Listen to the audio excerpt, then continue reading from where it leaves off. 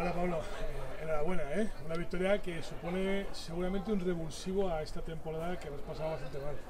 Sí, sí, encantado, encantado con la victoria, la primera del año, también la última. Eh, muy contento, he jugado muy bien, no me lo esperaba desde luego porque llevo todo el año, como te comentaba, con algunas lesiones, con dolores por todos lados, que llega un momento que hasta se me quitaban las ganas de entrenar y prácticamente no he entrenado mucho o nada. Y mira, al final pues este premio pues por lo menos me hace tener un poquito más de ilusión para el año que viene, ¿no? para preparar un poco más.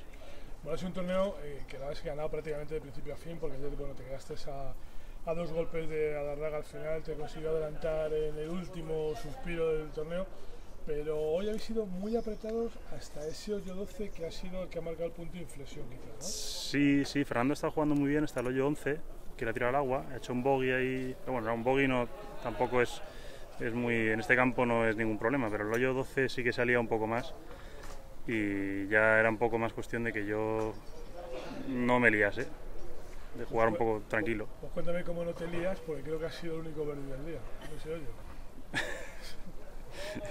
¿Cómo te lo Pues no lo juega muy bien el hoyo, pero, pero es que son cosas del golf, que no sabes dónde están los verdes y dónde están los bogies yo lo he jugado como he podido y cuando llego al green, sin saber por qué, estaba la bola a medio metro del hoyo. Verde Yo te he visto jugar casi siempre muy seguro, pero en algunos momentos, eh, incluso una vez puesto la bola, has cambiado de palo. ¿Qué pasaba? Bueno, eh, hace brisa, ha hecho brisa estos dos días muy, muy ligera y yo, como no tengo mucha confianza, no sé si voy a pegar el golpe bien o lo voy a pegar regular. Entonces me fío más de que lo voy a pegar regular y acabo cogiendo más palo para, esperando fallarla. Y por eso cambia de palo tantas veces. No tiene, no tiene otra explicación, por inseguridad. Bueno, hemos ganado la última prueba del año, la última prueba del año del circuito, no quiere decir que sea la última de la temporada. ¿Qué te espera ahora? Nada, yo ya hasta marzo no juego, no puedo jugar. Nos vamos de vacaciones ya. Vamos de vacaciones, hasta marzo. Pues Cinco meses. Muchas gracias.